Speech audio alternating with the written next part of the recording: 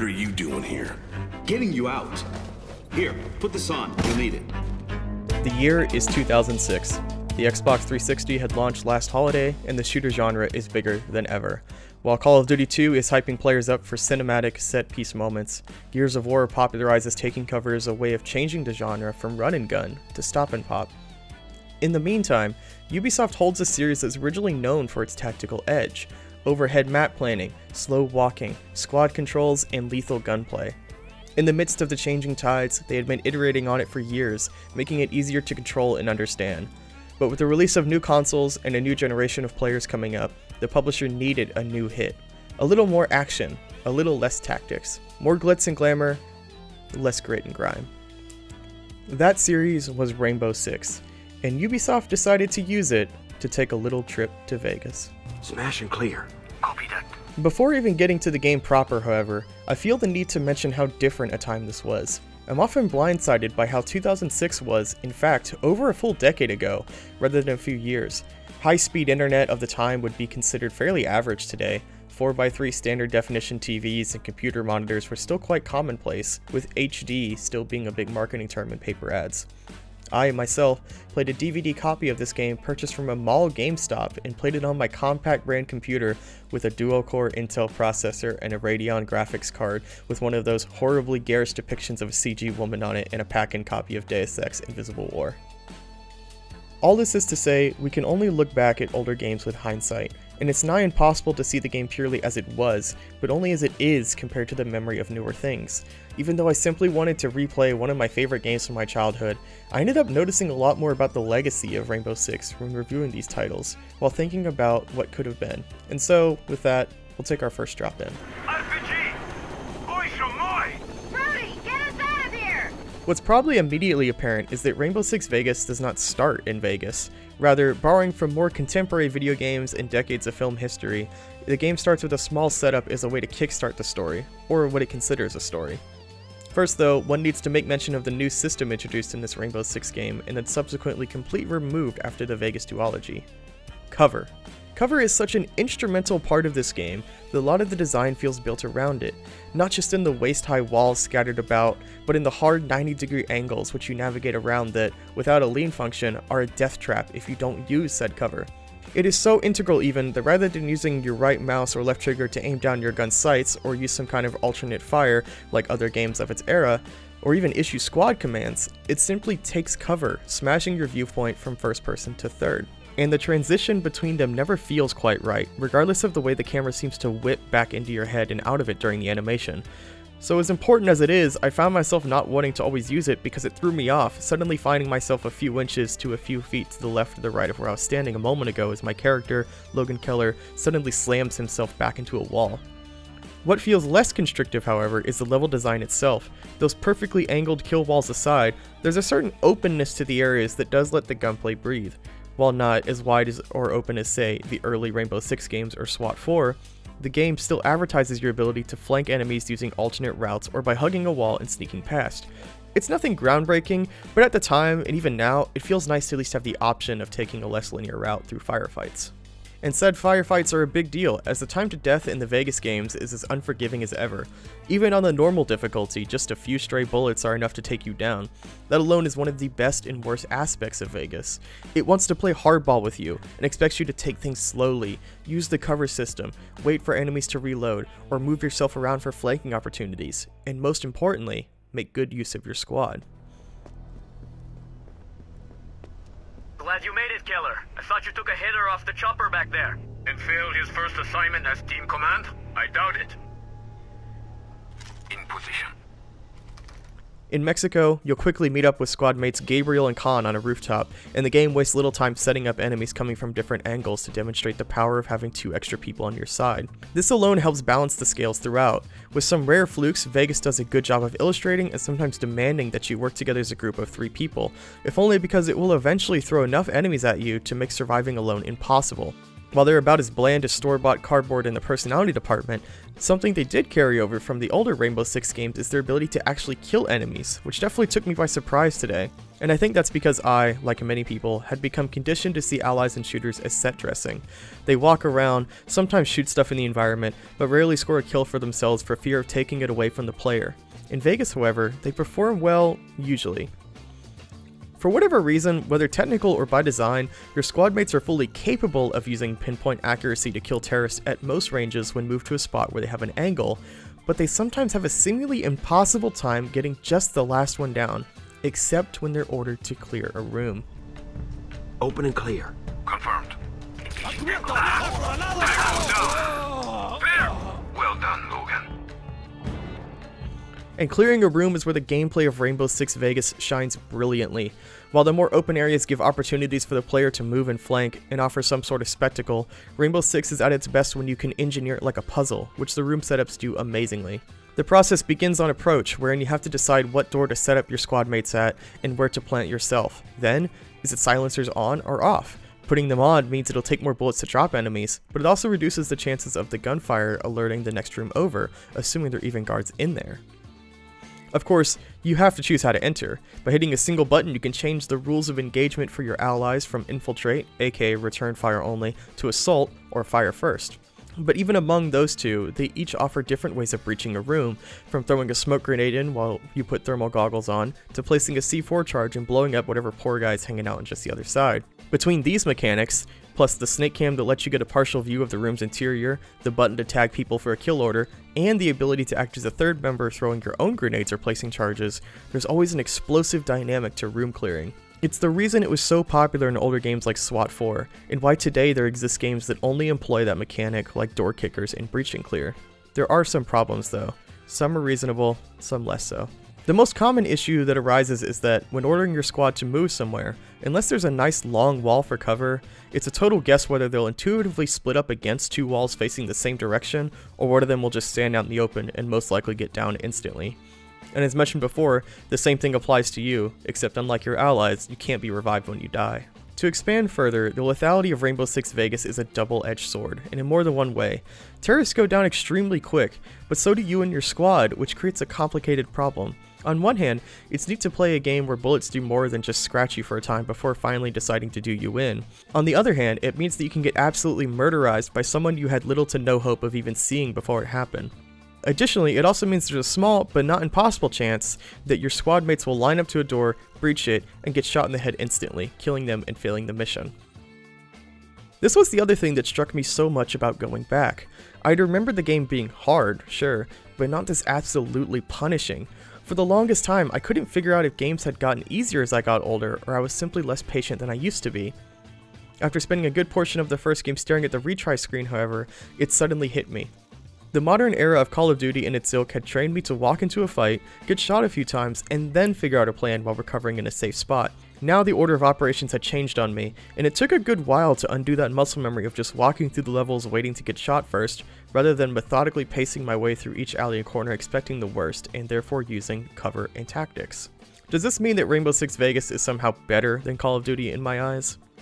Well, I wouldn't call instant deaths from rounding corners very fun or exciting. Realistic? Sure. Tense, maybe, but not much else. At the very least, they're interesting vistas to die at repeatedly. Since it's stamped right on the game's cover, the game wastes little time away from the titular city. Aside from a brief stay in Mexico wherein you drop in, meet this game's villain, a woman named Irene, and lose your squad mates Gabriel and Khan, you are suddenly whisked away to Vegas. Even the protagonist Keller has little understanding of why go to Vegas beyond terrorists, or desire to because his squad was still left behind in Mexico. And if it wasn't for the later game plot twist, as well as a planned sequel, I would have no idea why we started in Mexico myself, except only to contrast the dull, brown, back alley streets with the blasting lights and blaring sounds of the City of Sin. And to the game's credit, the helicopter ride in is certainly a sight to see, depicting a lot of close approximations of real casinos whizzing by beneath you. The proper build-up continues as you're dropped onto the main strip, surrounded by cars, palm trees, and high-rises. Meeting your new squad mates Michael and Jung, who are by some miracle just as boring and flat as your former crew, you devise a plan. Work your way down the strip, breach into the back room of the casino, and push your way deeper inside. And that plays well from a level design perspective. The streets of the strip are crowded with cars and barriers, each of them possibly hiding some guy with a shotgun ready to one-shot you, which further emphasizes the need to push your squad ahead of you and move your way up slowly. Once you've made it to the marked wall, you breach inside, but even then it's only a tease. This is only the back rooms of the place, full of gray server and meeting rooms. Only after a few tense shootouts do you work your way through the hall, open a door, and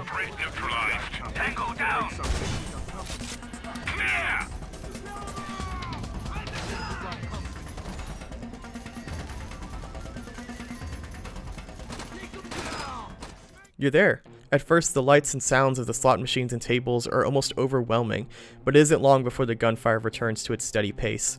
Even that is bolstered by the setting though, as there's something novel about Rainbow Six's tactical combat and nearly deadpan serious tone thrown against the whimsical and inviting lights of the quarter slots. And when the fight is over and the gunfire ceases, these slots keep chirping away as the music from the overhead PA system fills the soundscape once more.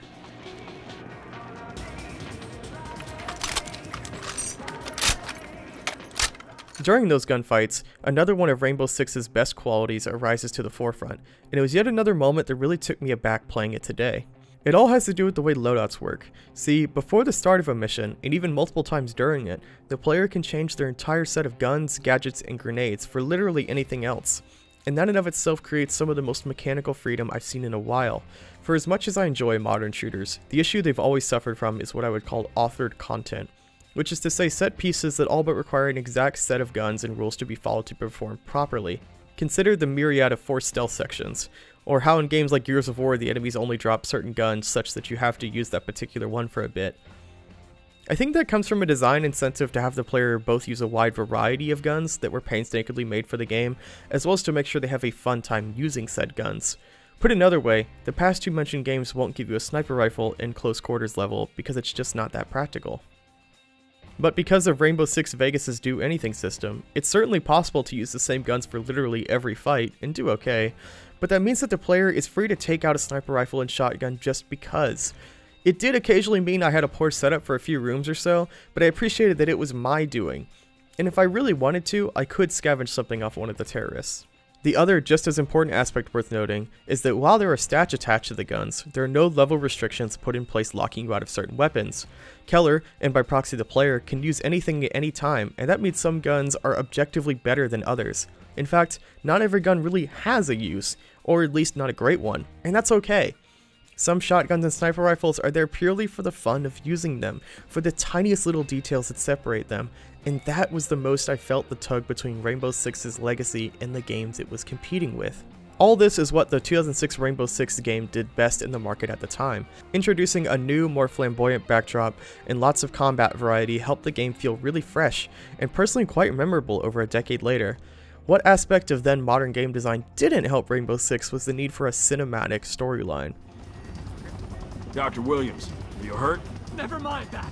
You need to get me to safety. There's a bomb in this building. Bomb. The micropulse. For God's sake, the terrorists brought me here to modify the two bombs they had. One was a crude micropulse. The other one was a conventional explosive that they moved to that building over there. Parker! Look out!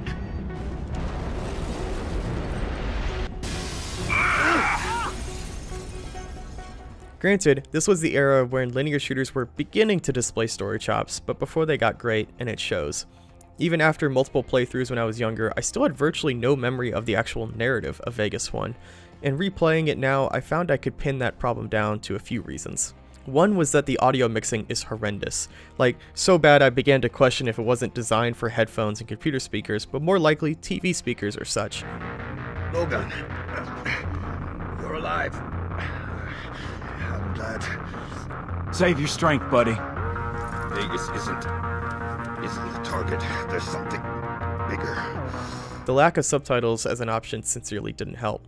The other problem was the strangely prophetic notion I had that this was just a small step in a larger Rainbow Six narrative. Even even if I could follow it, the sudden betrayal by Gabriel, who you said all of a few words to before, hurts it more. All you do is watch his helicopter fly away, but it all ends in a halting to be continued screen with credits. It's a really flat ending, trying to bring a swift last second hook with absolutely no weight behind it. Before we continue on, there are some other aspects of Vegas 1 that bear mentioning, like the gamut of online modes. Sadly, it's been quite some time since this game had any kind of popularity and community behind it, so I enlisted a few of my friends to remind me just how aged my memories of this game's online really are. Yeah, it's this map, by the way. Oh god. Oh Jesus Oh, Christ. God. It's already gone to shit! Oh my god. This already sucks so bad. It's like one piece of cover. Being a mid-2000s game, of course, there were problems right off the bat.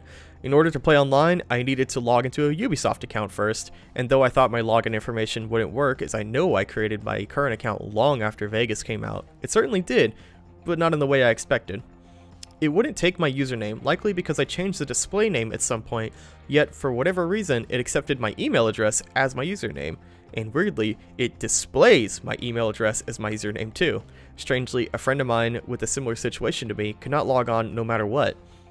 This seems like something that would never fly in today's online world, but how it happened back then, I have no idea. All that said, how are the modes? Well, the co-op story mode is somehow like others of the era and yet worse. It's alike in that players 2 through 4 simply work alongside you through the campaign's levels with no real context or extra dialogue at all. Think Halo 1 and 2 with the multiple Master Chiefs running around? Unlike Halo though, or Gears of War, or every co-op shooter of the 7th generation of consoles, the game completely strips out all of the non-player allied characters and leaves levels in this strange state wherein they feel much more mechanically designed.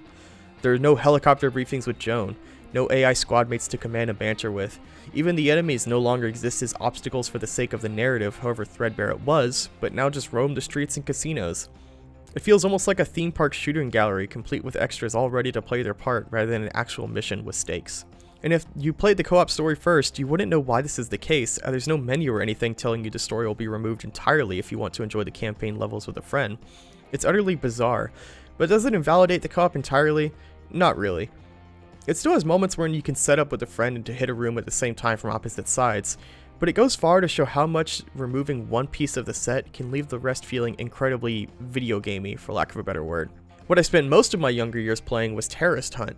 For my teenage friends and I, it was one of the mainstays on months on end between Halo 3 Slayer sessions and Gears of War 2 Horde mode completion attempts. In short, I was incredibly excited to give it another shot. What? Nope. Everything's ah. dark now. It got dark. There's his finger. It's just his hand. Yeah, it sure. It sure is. I murdered him through his fist. To say I was disappointed would be an understatement, and it's not even the game's fault. Playing Terrorist Hunt today is exactly like it was in 2006. Pick a loadout, a map, a skin for your character, and adjust a few sliders for difficulty and load in. It is exactly the way it used to be, and time hasn't been kind to it. Once a bastion of pure combat with a splash of RNG enemy placement, the lack of really complex gadgets or abilities really saps a lot of the life out of this mode today. I really wanted to say that the simplicity remained a testament to the pure quality of Terrorist Hunt, but instead it ends up feeling like a tacked on survival mode thrown in to fill the empty space on the back of the box. I can't say the game would be better without it, as it's not awful, but it doesn't make good use of the mechanics at hand because of the quick deaths at play and the random placement of enemies across the entire map. The chances of you getting shot from behind if you dare to move around are higher than one would like, leading my friends and I to simply turtle up at the spawn point and wait for them to come to us once they heard the gunfire.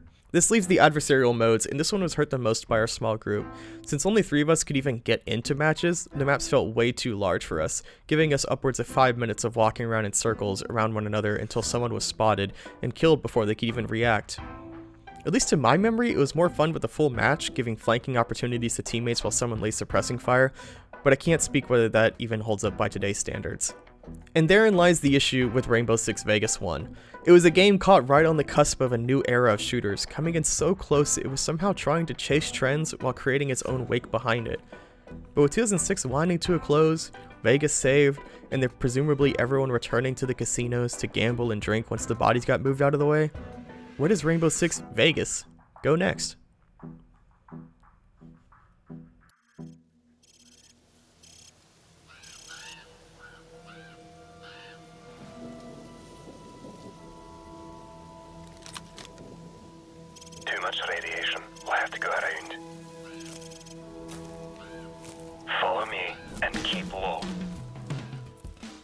The influence of 2007's Call of Duty 4 Modern Warfare on almost every preceding shooter cannot be overstated. Its single player campaign, though tightly scripted and seen more critically today, was well beloved at the time for its storytelling and cinematic set piece moments. More importantly, its multiplayer, leveraging a leveling system that unlocked unique guns, attachments, and perks, always kept the player engaged match after match, day by day, and on and on for years to come. Ever since then, it's felt like shooters have almost universally employed some variant of leveling in their multiplayer in an effort to keep people playing, and will shoehorn in whatever cinematic moments they can into their plot to hopefully have players thinking about it some years down the line when a sequel is almost upon them. Yeah, that turret sequence was very exciting. Let me get the new one of these. What I mean by all of this is the shadow of Call of Duty, nay all 7th generation shooters, looms large over Rainbow Six Vegas 2. From the moment I booted up the game for the first time, it was already throwing rewards at me for playing the first one, welcoming me back into the fold with an arm around my shoulder, assuring me that I shouldn't be concerned about the sudden influx of player levels in the campaign, and to just boot up a new save and give it a shot. And so I did, and favorably, the upgrade in presentation was noticeable from the outset. To begin, the UI actually displays in 16 by 9 now, so it started off on a good foot. After departing the helicopter, I was at once met with the beautiful vista of the snow-capped mountains of the Pyrenees and slowly walked into a room to be debriefed. It was all shaping up to be leagues more interesting than the first game, but it couldn't last.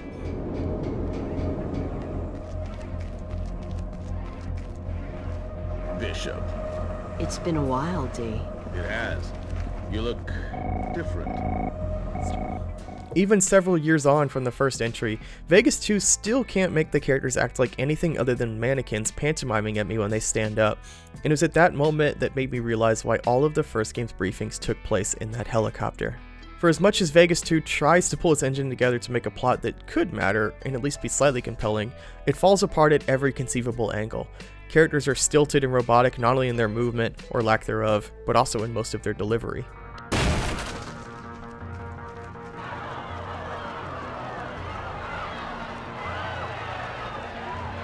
Help us!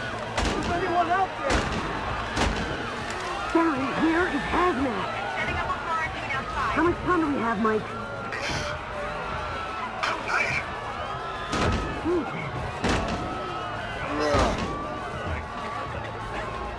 We did our best. There was nothing else we could do. Bishop, head towards the decon tents outside. They'll be expecting you. We could have stopped that. We had confirmed hostages, and I made the call to save them first. It was a textbook situation. Hundreds of people just died. I made the call, not you. We're team. And I'm team leader. We have a job to do. Even so, the game really wants me to care through the sheer amount of banter your squad mates and you yourself deliver. Seemingly after almost every combat encounter, someone will have some witty or solemn comment to make about the action that happened moments before. And if they don't, someone will definitely pop over the radio to give you new instructions.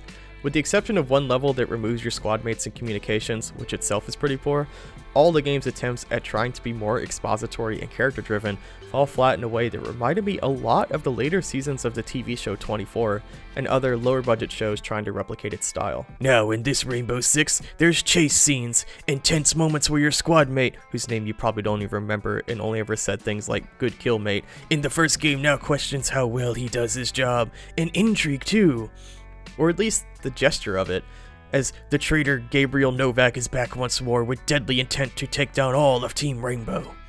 Frankly though, it's flat, it's boring, and usually just plain confusing, since Vegas 2 does double duty as a prequel and a sequel. And as such, this brings us back to Vegas 1. Taking place purely after the events of the first game would leave no Vegas left to shoot through, as that situation was already resolved. But doing a prequel meant Ubisoft had a chance to maybe shove in a few casinos from before Vegas 1's leads Logan Keller arrived on the scene. Instead, the game, in some poor attempt to create variety or maybe avoid story conflicts, opts to stray away from Vegas, or at least the one the tourists know of. Rather, Rainbow Six Vegas 2 takes place in the grittier, seedier underworld of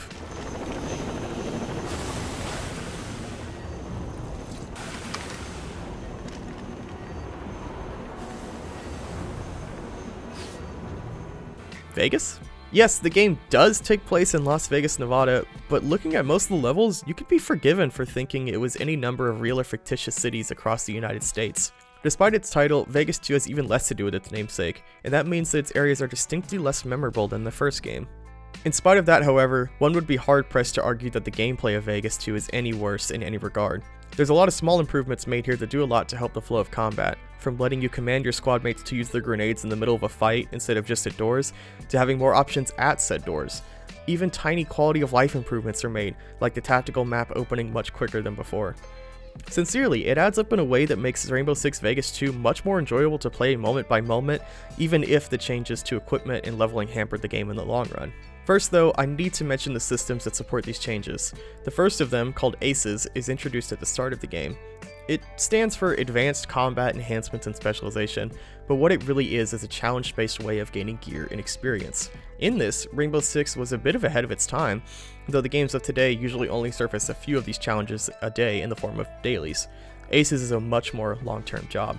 Depending on how the player performs, they'll gain points in some specific division, and those can go all the way up to level 20 per division, with each unlocking weapons behind its ranks. In theory, this is a fun and engaging way to reward the player for playing the game in a way they seem to enjoy it, but in practice, I immediately found I was racking up points in marksman every fight, but could not for the life of me get CQB or assault points. Due to Vegas 2 being just about as lethal in combat as the first game, there's no real incentive to run up to enemies and hit them up close with shotguns, or use grenades, or kill while repelling beyond the ACES system itself. More often than not, without proper use of your partners and some pure luck, you'll die trying anything outside of long-range headshots. And ultimately, that's fine. There was no incentive in Vegas 1, and yet I pulled out random builds and setups purely for the fun of using them, because combat was rewarding enough to try, even though I died a lot doing so but in even trying to solve the problem by making a CQB or Assault farm build, or simply ignoring aces altogether, a new issue arises. There's another leveling system at play as well, and it first appears to be a non-harmful broad character level. In this system, Ubisoft saw it fit to not only gain access to most of the weapons behind it and not just the multiplayer, but the single player as well. This means that my earlier praise for the lack of authored content in Rainbow Six Vegas 1 is only half true here. For what it's worth, you can still choose between a selection of guns and now armor as well at almost any point, as there's no designated sniper mission or such, but you only have a few options available now. There's no longer at the start the option to bring just a riot shield, revolver, a shotgun, and some C4. The shield is locked behind level 20 of the Assault Aces division, the revolver behind a character level. Even most of the shotguns are locked away at the start. That means there's a lot of grinding just for the chance to use this kind of loadout, and that's hoping the player even likes it if they decide to grind for these without knowing. Even in that extreme particular scenario aside, I found myself disappointed that guns I loved in Vegas 1 were now arbitrarily locked away from me, along with new ones I would have really liked to try out. It's something I can understand in a multiplayer only setting, as it's designed to be repetitive by nature, but in single player, it was just upsetting. So then, with the gunplay variety kneecapped, what becomes of the story that Vegas 2 invested so much effort into? Nothing. Following the standard sequel format of, this time it's personal, your team lead and playable character Bishop has a past with Gabriel and Keller depicted in the first mission, wherein you find out that Gabriel was too hot-headed and assertive to work on a team. And of course you were there, leading him the moment he broke, making it that much more personal when you have to take him down yourself at the end game. by yourself, and he's in a helicopter. I honestly do not understand why this was designed this way, beyond only wanting to have a cinematic moment at the end of the game with lots of gunfire and explosions, even though by the standards of Rainbow Six and earlier Tom Clancy games, a small ending wherein you and your squad pair up with Keller's team to breach a room together and take down Gabriel would have had made much more thematic sense and better use the mechanics at play. Alas, this is the era of Call of Duty and Gears of War, which means that spectacle was reigning supreme. As such, for whatever cool factor the game had at the time, a lot of those sequences have aged especially poorly. And that's the real shame of it. So much work put into the presentation, yet it just wasn't what the game was designed for. But before we close, we need to take a look at the multiplayer for Vegas 2, however briefly. This time my friend that couldn't play before could this time, so that's a bonus, and yet, try as I might, I still was not able to get the game to display anything other than my email, which made me at least slightly thankful that the multiplayer lobbies were empty. Who are you? Yeah, so this version has my squads, which is weird, right? Like the first time, we tried out the co-op story, and I feel like they took a good step forward with this one. Your co-op partner now does not erase your squad from existence with their arrival, and can see the waypoints and tags you place for your team. It's not terribly exciting, but a well appreciated fix. Oh, I got killed from behind. Oh, he's going back down the stairs. he's Oh, fucking no. killed you and left. That's funny. That's fucked up. That's fucked up. they are like real players. They just grab their one kill and leave. Next, we dove into Terrorist Hunt again, and what held true of the first game does now as well. The enemies are smart enough to climb ladders and open doors to kill you quickly, but not enough to know when to wait for us to come to them. Our moments were definitely more intense, but that was likely due to us being acclimated to the mode and wanting to push through the level as we played rather than just hang back as much. I personally found the maps to be a bit more engaging, further leveraging the verticality present in the first game's multiplayer maps. And while the addition of night versions seems interesting, we quickly found out the night vision goggles were wholly unnecessary. That leaves adversarial multiplayer, where unfortunately all we could test with three people again was deathmatch and realism deathmatch. The former works the same as before, and again, though we tried to move around the maps more this time, it became apparent a few matches in that the slow pace, gadgets, and most importantly third person cover system all tell the player to hunker down and camp a spot. It's probably why I remember playing the objective modes much more back in the day, and without a good reason to go out into the open, cover peeking is much too powerful. I would like to say the realism variant of Deathmatch changed things, as one of the advertised features was a tighter cover camera, but while it did accomplish its goal of removing the ability to peek, it makes one wonder why bother using cover at all rather than just hiding behind a wall. So all in all, a better offering of maps, though without committing to the grind, a smaller set of weapons and gadgets to use them. I mentioned at the beginning that we can only look back to the past with hindsight, and that's especially true here. Maybe I would have had a great time with the multiplayer if I had played as much more of it back then, grinding away multiple levels a day and doing different builds, but that's just about impossible today, so all I can do is ask, what if?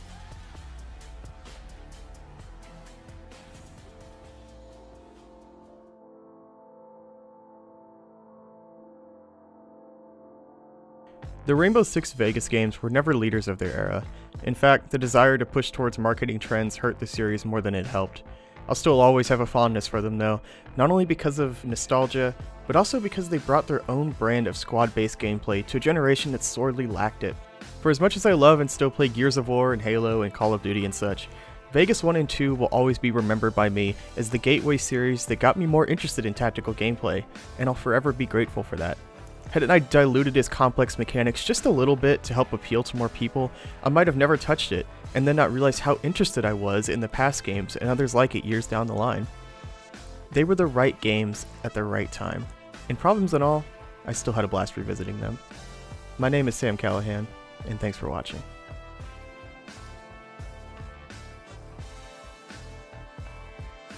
With the credits rolling, I want to give a super special thanks to my friend Brandon Carey for reviewing and critiquing my original script for me.